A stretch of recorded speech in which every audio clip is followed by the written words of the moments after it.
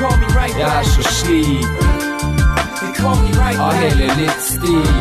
Man, they call me right Jeg er back. så lei. Oh, Hva skal det bli ut av meg? they call me right Jeg er back. så sliten They call me right av back. hele livsstil. Man, they call me right Jeg er back. så lei. Hva skal det bli ut av meg? Ja? Jeg prøver å kul, prøver å roe ned. Rett før jeg hopper i en båt og ror av sted. Jeg prøver på å ikke leve som det her, men jeg har aldri gjort noe annet enn å leve som det her. Så jeg er fanga i en sirkel, prøver å tenke på framtida. Men ikke faen om det virker. Jeg er avhengig av fylla og billig damer. Og når du lever sånn, så har du ikke billig vaner. Og jeg klarer ikke å holde på noe jobb, få på weed hver dag. Og jeg veit jeg kan ikke holde på med sånt. Jeg har regninger stabla i høyden. Og jeg veit at mamma lurer på om det har rabla for sønnen, men det ordner seg nok til slutt. Stol på meg, jeg skal skjerpe meg og ende som en ordentlig gutt. Så jeg får vel ta tida til hjelp, men akkurat nå så skal jeg røyke til resten av hian er vekk, så ha det. Jeg er så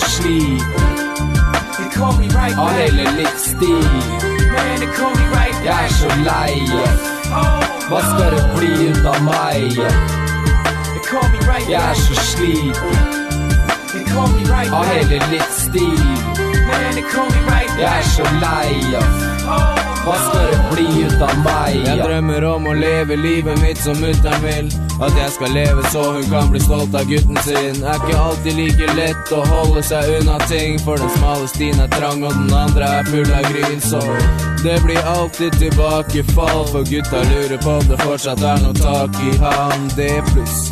Hver gang jeg er blakk, så pang, rett tilbake til kriminell tankegang. Shit, så er det andre dager, tenker i andre baner. Men spenna klistra seg på hjernen min som landeplager. Og du kan banne på at han koker opp mange planer. Og hvis situasjonen blir for ille, ta han inn plater.